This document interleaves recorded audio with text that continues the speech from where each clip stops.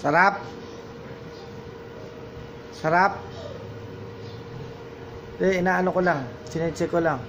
Hinalo ko yung dog food dyan, tsaka yung chicken curry. Sige na, kumain ka na. Pumulupot yung kadena mo ah. Gusto mo, tanggalin ko muna. Hindi, yung kadena, ayusin ko para hindi ka naman nahihirapan, baka bumabara o ano. Ah,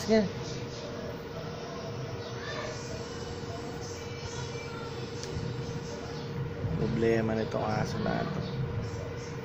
Kumalupot yung kadena eh. Tanggalin ko kaya muna.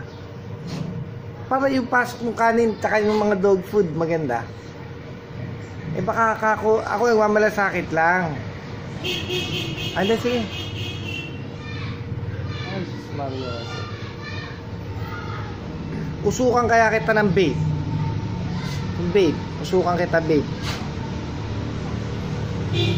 Ah, hindi na. Sige, kumain ka.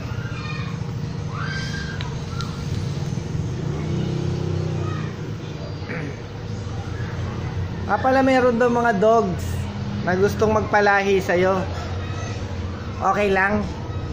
Para magkaroon ka ng experience.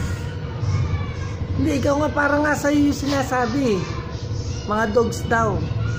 Parang hindi ka na virgin. Gusto? Ayaw mo gusto mo ng virgin ka. Ah, sige, kumain ka na.